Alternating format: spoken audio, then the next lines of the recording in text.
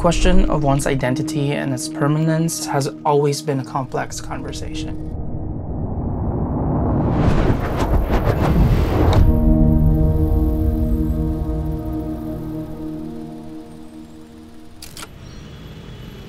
When I got older, I realized how much less of a Filipino I've become. I'm saying that because there is a lot of Filipino culture that I never got the chance to explore, experience, and understand. And one of them is our tattoo culture. There's a lot of negative connotation to having tattoos. At least in the Philippines, it's associated to criminal syndicate, gang activity back in the 70s, 80s. So people who are not open to tattoos see it in that form still. Para lang sa na, nasa bilibid. Pag may tattoo ka, parang criminal. Nagpatato ka, pagkamalan kang galing ka ng kulungan, nakapatay ka ng tao, ganyan.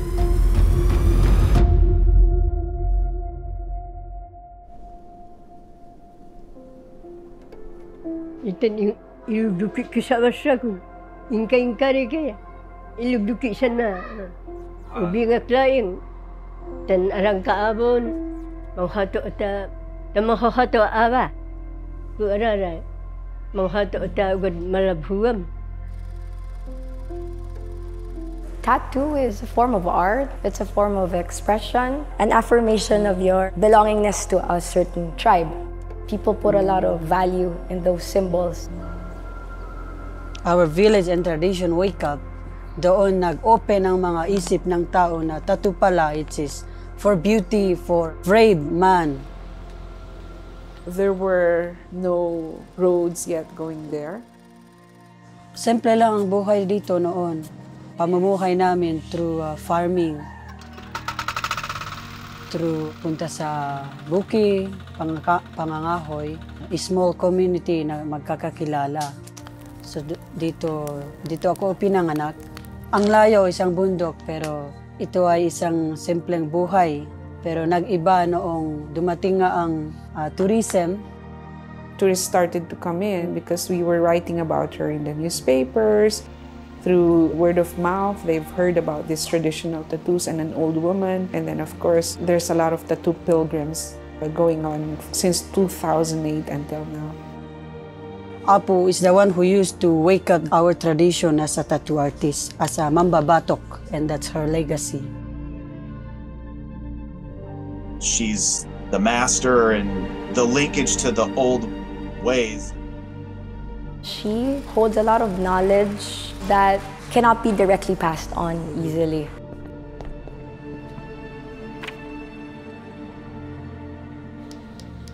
The stature of Wang Ud, the materials that she used, the designs that she made, that's an epitome of that cultural practice.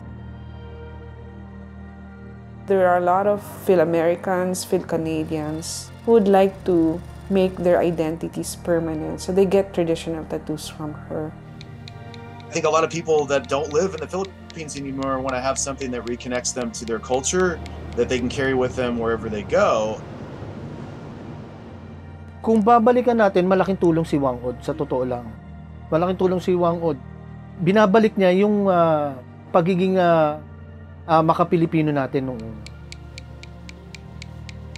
I would like to continue the legacy of my grandmother because he is the one who teach me. I would like to continue the tradition so that all of the younger, all of the teenage girl, boy, they also learn to wake up the tradition. Importantitan siya importantiya na sadu marasagata matoya ad Ah, machiran na important. Malamin. Anon nibatinan na sa important. Our tattoo culture is set and will be preserved. Our quest, however, continues as we uncover what's hidden underneath the surface.